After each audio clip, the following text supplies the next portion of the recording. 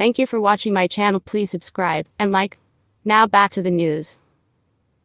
Former President Barack Obama is secretly running Kamala Harris's presidential campaign, using his people to direct her bid, ex Republican House Speaker Kevin McCarthy claimed Sunday. If you're watching the campaign now, some of Obama's key people, such as David Plouffe and others, are now working on the campaign, McCarthy said on 770 WABC's The Cats Roundtable. You're getting the Obamas shifting from running the White House to now running this campaign. Obama's former top advisors have had major roles with Team Harris. Obama's Attorney General, Eric Holder, helped handle the vetting process for Harris's selection of a running mate for vice president. Harris also hired Plouffe Obama's campaign manager in 2008, and later one of his top White House advisors as a senior campaign aide. The political operative Plouffe has advised TikTok and Uber, too. In addition, Harris has tapped Stephanie Cutter, who worked as deputy campaign manager for Obama's 2012 re-election, as her campaign's senior advisor for strategy messaging. The firm of Obama ad maker Jim Margolis also is supposed to join Team Harris, according to Politico. He had worked on Harris's 2020 campaign.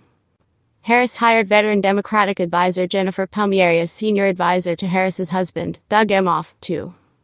Palmieri served as director of communications for the White House under Obama and held the same post for former Secretary of State and ex New York Senator Hillary Clinton's 2016 White House bid. Jennifer O'Malley Dillon, campaign chairwoman for the 2024 Kamala Harris presidential campaign, also worked on Obama and Joe Biden's 2020 presidential campaign. But a former top advisor to the ex president scoffed at claims that Obama is directing Harris's campaign. It is not unusual for veteran Democratic campaign strategists to work for successive candidates running for the White House. President Obama will get involved if Harris asks him to, the source said.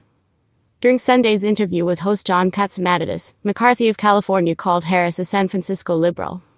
He also rapped her selection of Minnesota Governor Tim Walz as her running mate. This is by far the most liberal ticket in the history of American politics. We do not want to put San Francisco and Minnesota across this country, said McCarthy, who was the first speaker ousted in a floor vote, which took place in October.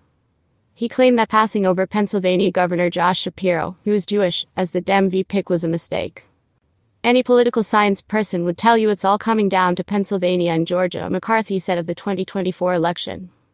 Why would Harris skip Shapiro in picking a VP? Is she not going to stand up to her own party when they want to attack Israel? She wasn't there when the Prime Minister of Israel came to speak to Congress.